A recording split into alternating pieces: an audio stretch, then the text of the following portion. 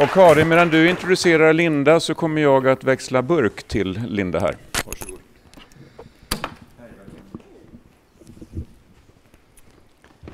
Ja, hej! Eh, härligt att ha en kollega här. Linda Laszlo Ek från eh, Stock vårt kontor i Stockholm. Du får en mygga där också.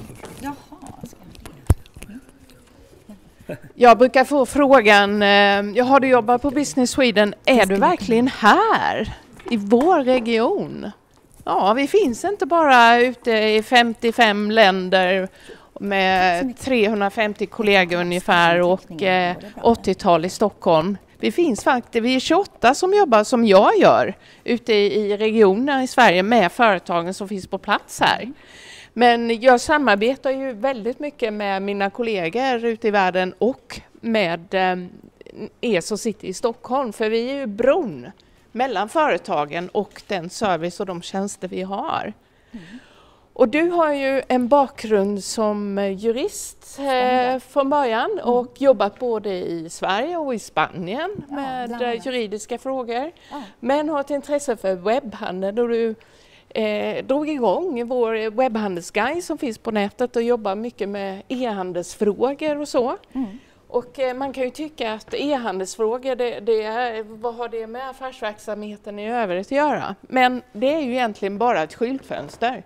För ofta så upptäcker man ju att ja, det finns ju fortfarande de här reglerna i olika länder om hur man säljer och hur man för in och det finns sockerskatter bara man försöker sälja lite godis till Danmark och hur gör man med dem?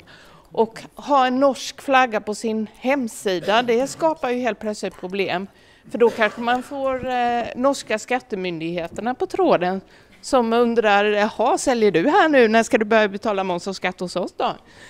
Eh, det finns mycket olika frågor som detta handlar om, men eh, på LinkedIn så står det att du gillar att inspirera, och motivera och engagera, så jag ser fram emot att höra. Ja, vi får hoppas att, det, att jag kan göra det idag då. Tack så mycket. Eh, som sagt, hej allihopa, Linda Laszlo Ek heter jag och har direkt nu tagit tåget ifrån Stockholm för att komma och prata med er om e-handel på export. Jag tänkte börja med att visa en liten, liten kort filmsnutt som jag har gjort. Ska vi se om jag klarar det här. Nej, vänta. Det var den.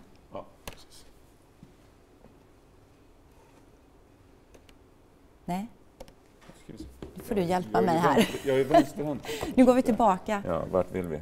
Där. Ja, och så klicka och så kommer vi in på Youtube. Och så kan vi förstora där ja, kanske. Precis. Så. Världen över blir kunder allt mer trygga med att handla över nätet.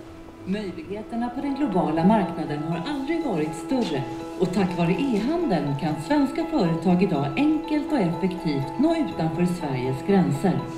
Men att sälja online skiljer sig en del från traditionell export. För att lyckas är det därför viktigt att tänka på de lokala förutsättningarna, vara väl förberedd och tidigt sätta upp en exportstrategi. Anpassa därför erbjudandet efter regelverk och marknadspraxis, men även efter kundernas lokala beteendemönster.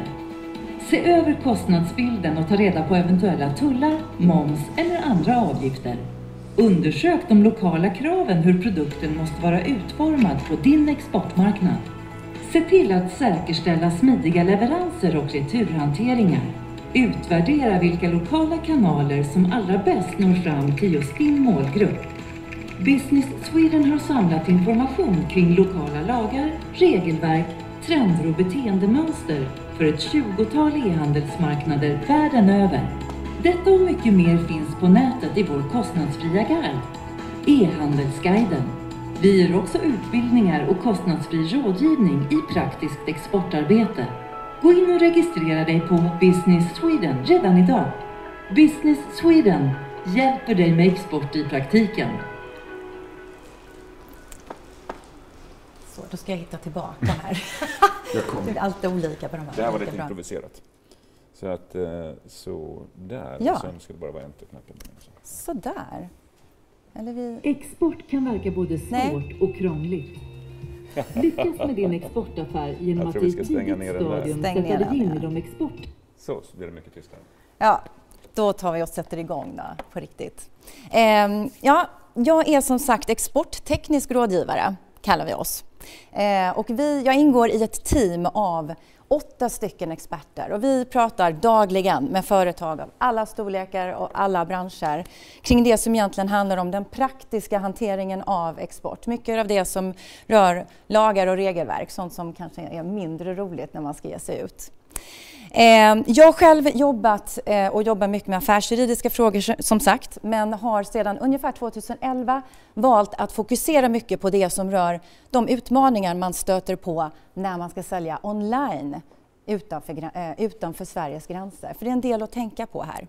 Och som ni vet så befinner vi oss i en digital revolution. Vi vet ju inte riktigt hur allting började och vi vet verkligen inte hur allting kommer att sluta. Men vad vi vet idag, det är att e-handeln har kommit för att stanna. Och e-handeln har mognat och det ger ju fantastiska möjligheter för svenska företag att nå ut och möta kunder internationellt via webben. Kunder världen över börjar nu allt bli mer och mer bekväma med att handla på nätet. Och nu kan man se tendenser att de även börjar känna sig väldigt bekväma med att handla från utländska e-handelsbutiker. Och detta, den här utvecklingen går i en enorm hastighet. Bara under senare år kan vi se många utländska aktörer också komma till Sverige och snor marknadsandelar. Eh, men det här med att gå gränsöverskridande, det är ju inte bara att kastas ut och vänta på att orderna trillar in, utan det finns en hel del lokala förutsättningar, både strukturella och kulturella, som man måste sätta sig in i, i synnerhet om man vill nå en långsiktig framgång. Så även om internet och webben är gränslös så är den långt ifrån laglös. Så vi ska titta lite på det. Nu kom den här bilden upp lite snabbt, men jag brukar... Oj, den såg lite konstig ut. Men den brukar jag alltid börja med, för att man brukar alltid undra hur ser det ut idag? Hur ser vår e-handelsexport ut idag? Det här är faktiskt något som är taget från Postnords senaste e-barometer eh, och visar på i det mörkblå fältet så ser ni att det är ju våra nordiska länder som står i topp och det är ju inte helt förvånansvärt för tittar man på traditionell export så är det också våra nordiska länder. Det som är ganska anmärkningsvärt är att Norge hela tiden ligger i topp här. Norge, det är ju inte ett EU-land. Det blir aldrig fullt lika enkelt att exportera till Norge. Det vet ni kanske som har exporterat till Norge. Och ändå är det dit man vill, reflexmässigt. Förstahandsvalet. Och vad beror det på? Jo, norrmännen de är våra mest mogna e-handelskonsumenter och de älskar svenska webbshoppar. Och dessutom så är de ganska köpstarka. Så att eh, det inhemska utbudet stämmer inte överens med efterfrågan och där kommer de svenska webbshopparna in. Så det är högintressant just av den anledningen.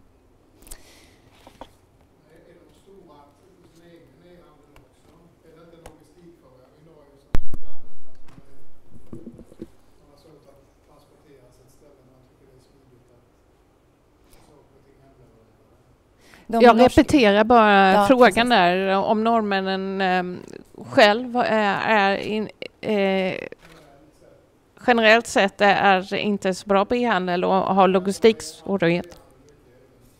Eller om det finns existerande bra e-handel och att de därför är vana vid att det har skapat... De är också duktiga på, sina, eh, på sin e-handel, absolut. Men de har inte samma utbud, eller de har inte tillräckligt stort utbud. Och numera så kan man ju hitta produkter från världens alla hörn. Så det gäller väl att hitta just unika produkter och sånt kanske inte de norska eh, e-, e-butikerna har i samma utsträckning. Eh, konkurrensen hårdnar allt mer globalt sett. Det blir tuffare och tuffare att ge sig ut.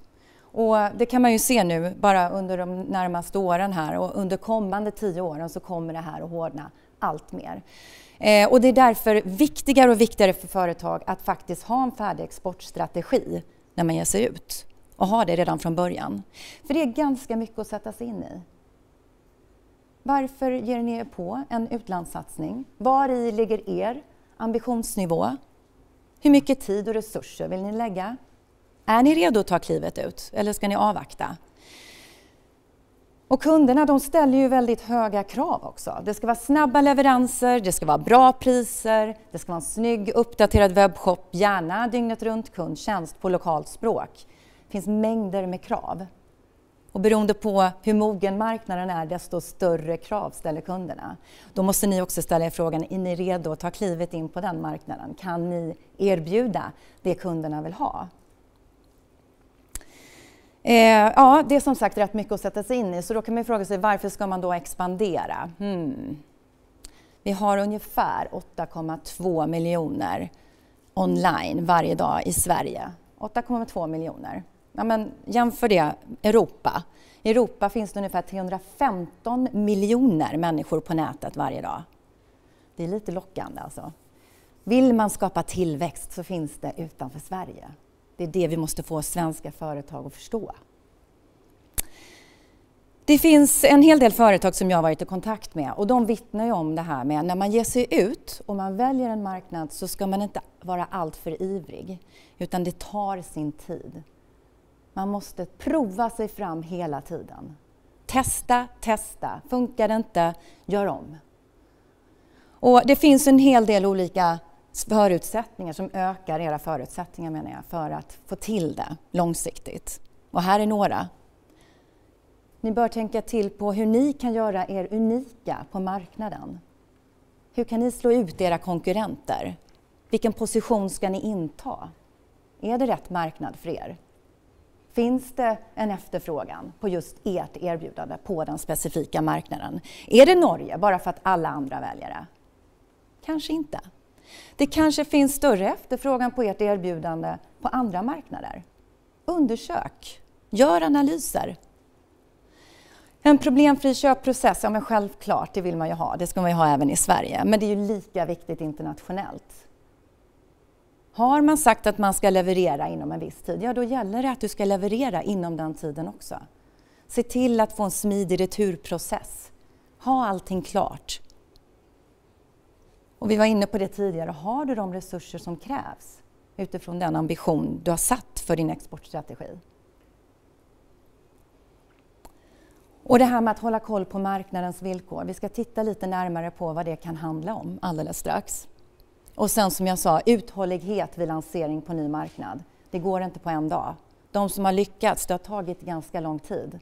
Men sen trillar pengarna in, så man får ge det lite tid. Nähä, så.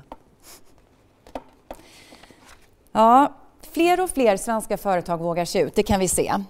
Men det är fortfarande väldigt många som inte gör det. Och vad beror det på? Det borde ju vara en självklarhet. Men faktum är att väldigt många företag känner en stor osäkerhet här. Och det gäller inte minst lagarna och reglerna. Vad är det som gäller? Hur sker det rent praktiskt?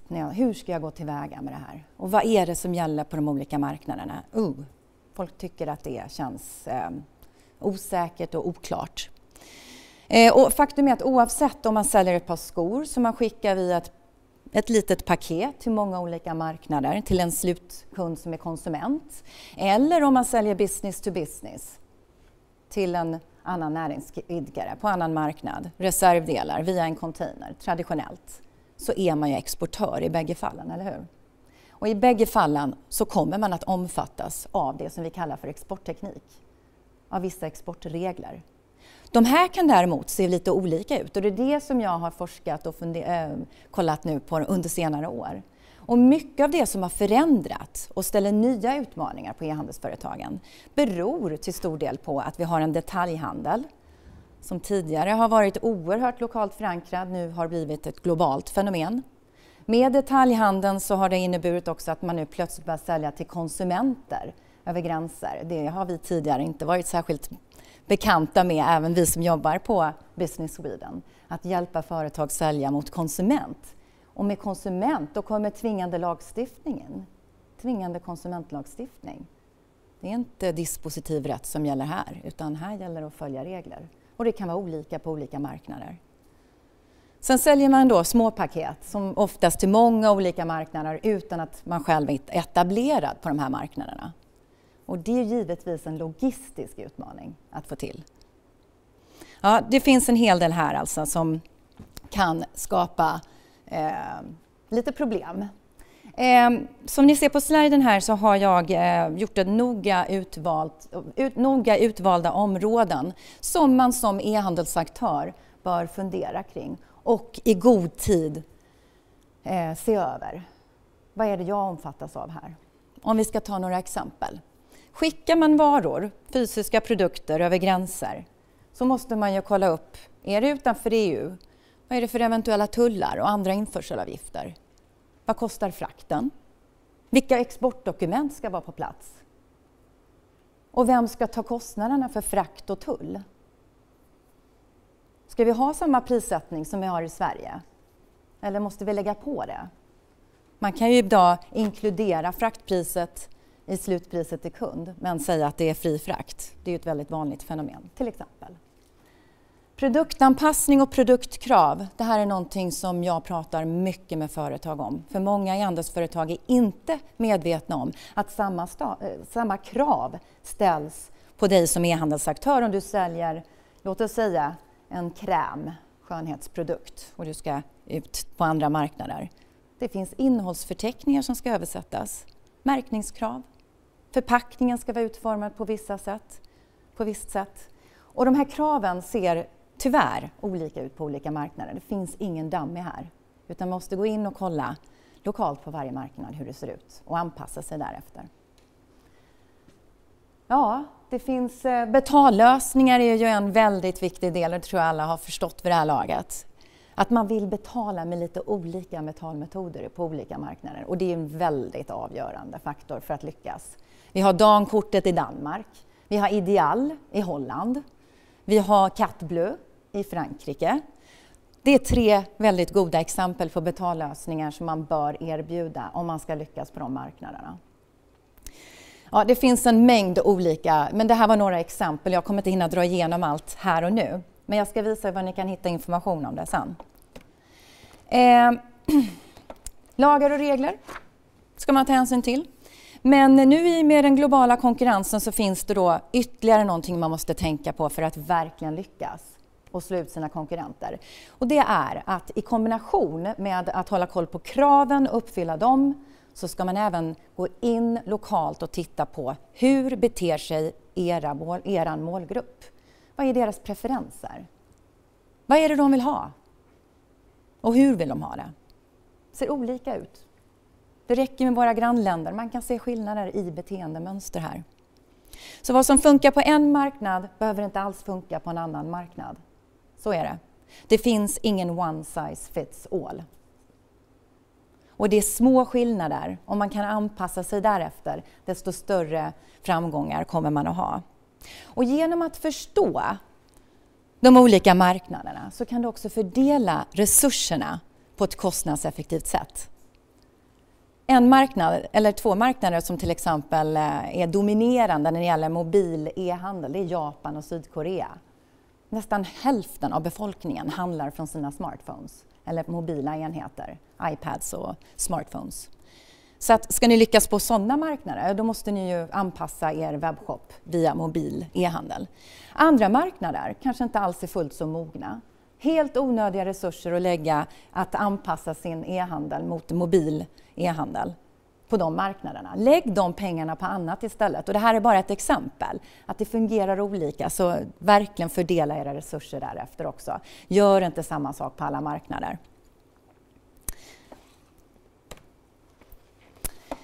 Ja, det här är ytterligare då något som är väldigt, väldigt viktigt. Och det är att ha en strategi för hur du ska synas mot din målgrupp lokalt.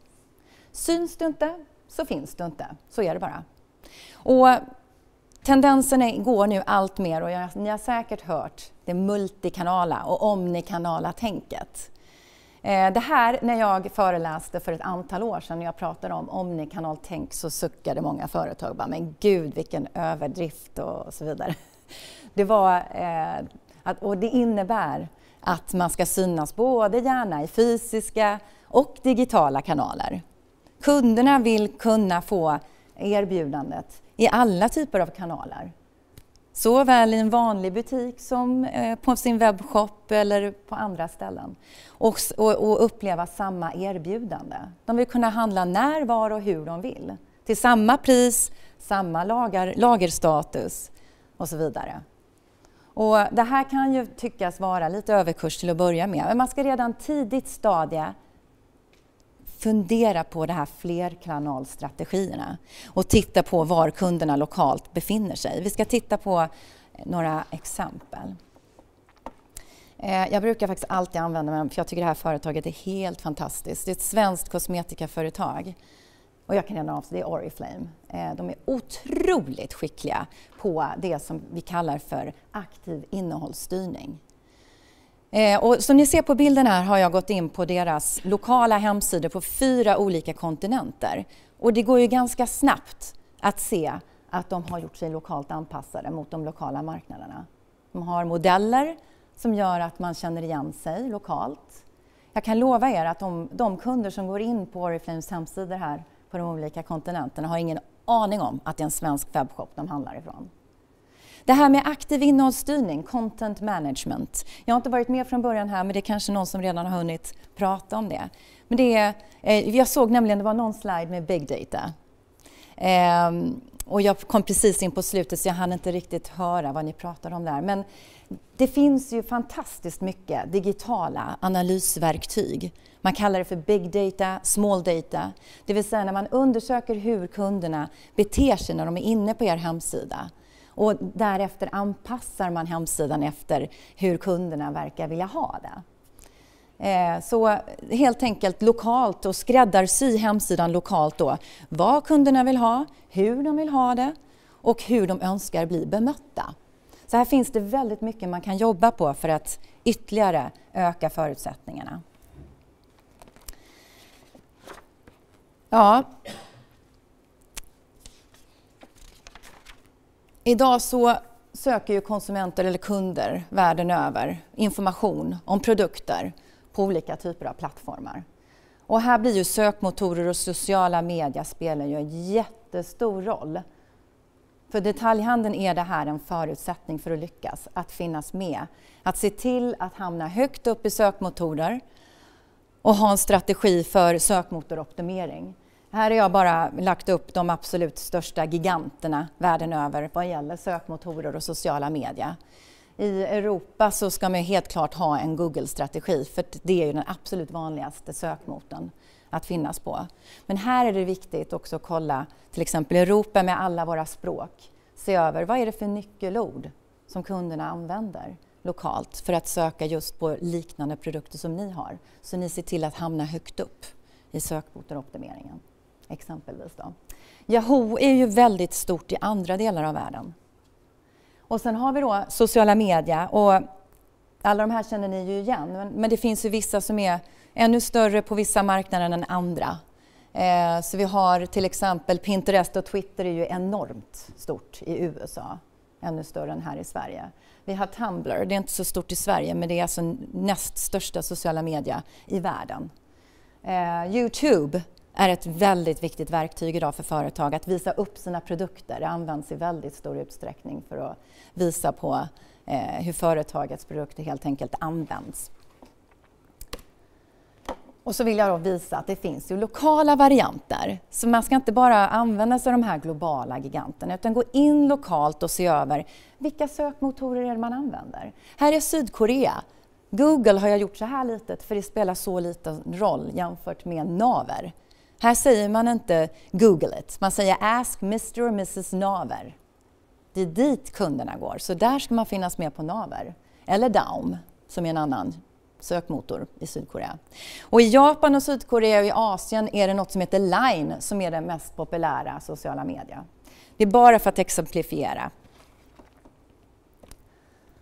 Och så vill jag också bara beröra det här med att vi har pratat mycket om man utgår ifrån sin egna webbshop när man går internationellt. Men givetvis så finns det ju då andra varianter. Ibland, många företag kanske vill försiktigt öppna upp mot en ny marknad för att bygga upp sitt varumärke och sno kundtrafik från redan etablerade marknadsplatser. Vi har stora giganter, så kallade online marketplaces. Amazon, Alibabas Tmall, Rakuten i Japan. Enorma och här kan man alltså lägga upp sina produkter och eh, helt enkelt dra nytta av den kundtrafik som de redan har skapat. Men en varningens klocka här, de ställer ju hårda krav. Och här tar de marginaler. Man måste se över villkoren så att man inte hamnar i, i klaveret här om man vill dra sig ur. Så det är bara att rekommendera att läs på. Skriv inte på vad som helst och fundera på hur ni vill ha det i framtiden. Sen finns det ju mer och mer nu också lokala motsvarigheter till de här giganterna som man också bör göra en analys kring. Eh, fler och fler eh, eh sådana här marknadsplatser med specifika produktkategorier finns ju också att använda nu. Zalando är väl ingen som har missat. Eh, men det finns också mindre varianter som är lokalt väldigt populära. Inte helt fel att använda sig av för att bygga upp varumärket. Och då, bara för det, ett exempel på Tyskland då. Det här är bara, jag bara snabbt eh, drog exempel på två olika produktkategorier. Här har ni Zalando, Otto är också jättestort inom just mode, design. Eh, elektronik, datorer och multimedia, Konrad är enormt. Ja, det här är några, eh, några exempel av en enorm eh, Eh, enormt utbud i Tyskland som ändå är Europas näst största e-handelsmarknad. Och här finns det en historik också kring distanshandel. De har haft postorderförsäljning eh, under väldigt många, många år så de är väldigt mogna e-handlare. Ja, ni hörde i filmen här. Jag tänkte avrunda bara då och säga att eh, jag tillsammans med kollegor ute på våra fem, vi har ju lokala kontor på omkring 50 marknader.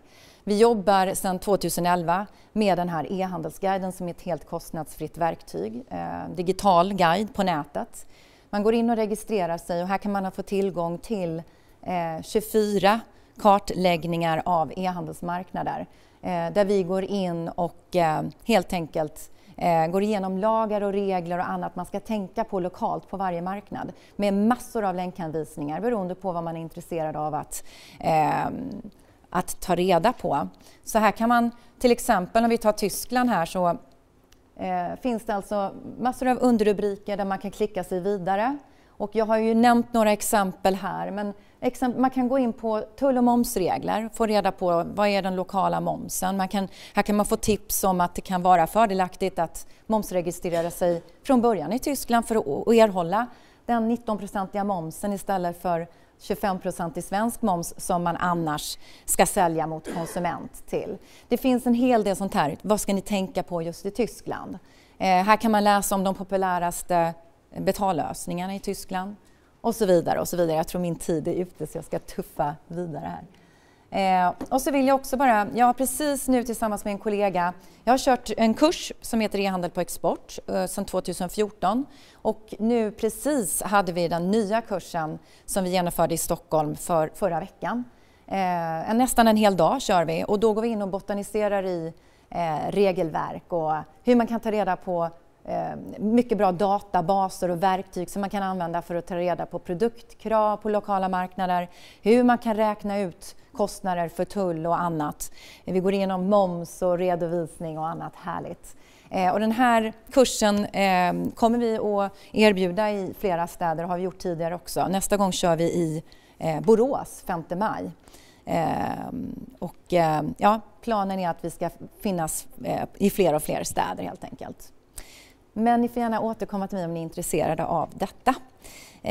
Så att här är kontaktuppgifterna till mig och mina kollegor om ni vill ringa eller mejla in frågor. Det kan handla om sådana basala grejer som hur man ska fylla i ett EUR1-dokument om man vill erhålla eh, ursprung, eller så här ursprungsintyg om man vill ha, åtnjuta tullförmåner, eh, hur ni tar reda på tullar och andra avgifter. Och det är kostnadsfritt att fråga. Så att tack för mig. Stort tack Linda. Jag lyssnade på en kinesisk eh, webbhandlare som sa att eh, de startade på webben men nu skulle de etablera 13 stycken offline-butiker. Ja. Så eh, är det någonting du ser också ja. att andra e-handlare liksom ja, tänker det steg? Absolut. Ja. Och det är liksom trenden nu att förut, för några år sedan så var det ju bara allting ska vara digitalt. Men så är det ju inte, utan det har ju visat sig att kunder vill ju kunna ta på sakerna. Man vill gå in i butiken och sen vill man beställa på nätet. Så att det är en väldigt tydlig strategi att De som eh, traditionella eh, butiker går digitalt och de som har börjat med e-handel, e-handelsaktörer, alltså pure players som man kallar det, de går mot det fysiska. Så, det, så är det. Har vi några frågor bland publiken?